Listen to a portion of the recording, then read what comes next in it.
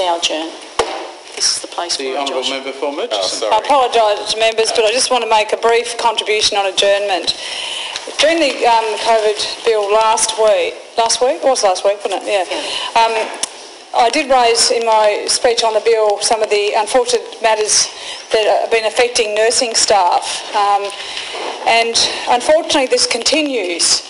And I just want to raise this. I think I'm I'm just going to appeal to all members and to the leader in her role with the government to encourage uh, a bit more proactive approach to standing up for our nursing staff when they're being vilified um, by members of the public. I, re- I read an article um, in The Age on 1st of May called Not Out of the Woods Yet, Health Authorities Probe 17 Coronavirus Clusters. Of course, that was in Victoria, um, but it talked about a major, and I just want to read you a couple of sections of this and I want to make my comments. A major outbreak at the Albert Road Clinic, a privately run psychiatric facility near Melbourne CBD that emerged last Friday was also linked to 16 cases, including multiple patients and staff. The Age has been told an asymptomatic psychiatrist who worked there unknowingly brought the infection in and infection of the outbreak continues. That's how easy it is.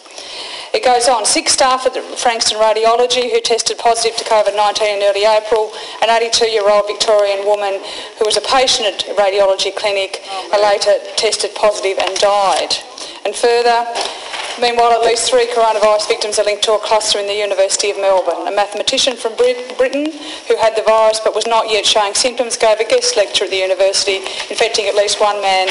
He then visited a colleague, infecting him as well, and that colleague in turn infected his wife. They referred to the Eaglemont cellar and wine bar and the cluster that appeared around there. And the- he said, it goes on to say the clusters are a warning sign that the threat of COVID-19 remains and shows how quickly can spread.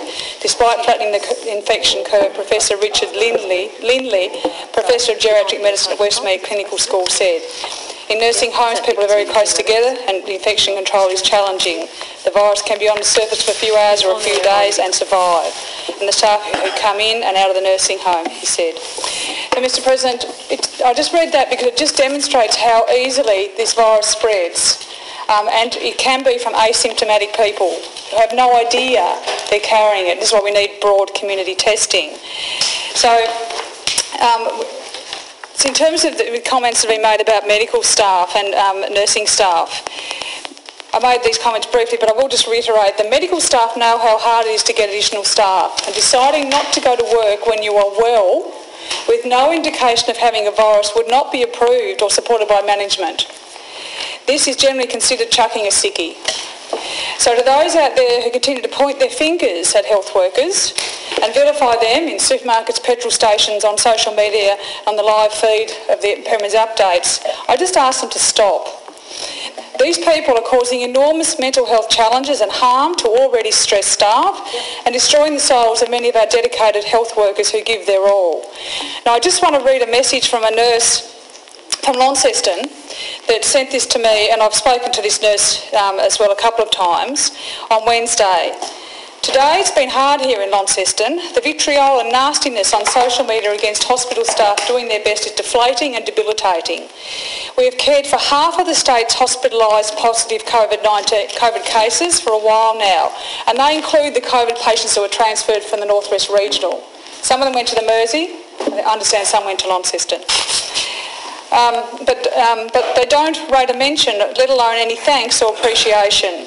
And now we have a colleague diagnosed positive, and apparently we are the worst. Now we know from what happened with that colleague, uh, that nurse, that that nurse did the right things, um, and all those 10 uh, immediate contacts of, or close contacts of that nurse have tested negative, which is really good news.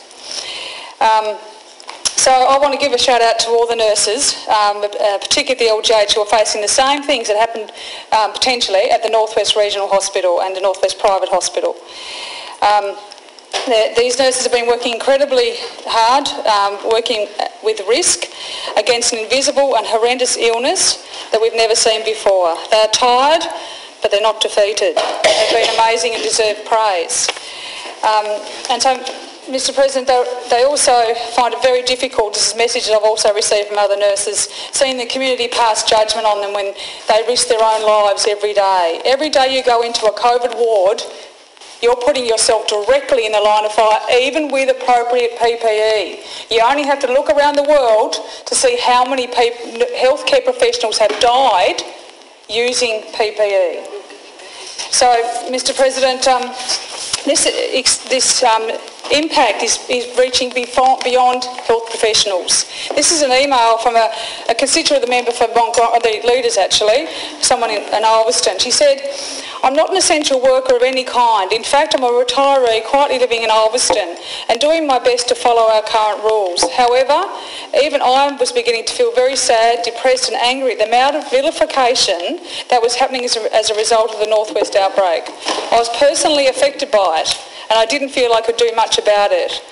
Um, and she was commenting on a post I put on, on my social media feed.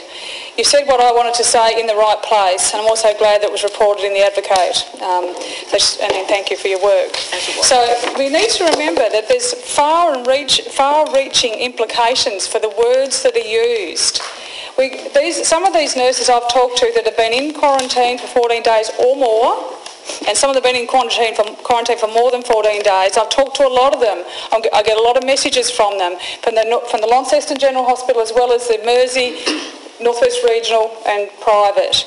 Um, and they are feeling really anxious, really stressed, particularly undervalued when they see these comments. So as, as members and leaders in our communities, please stand up for them.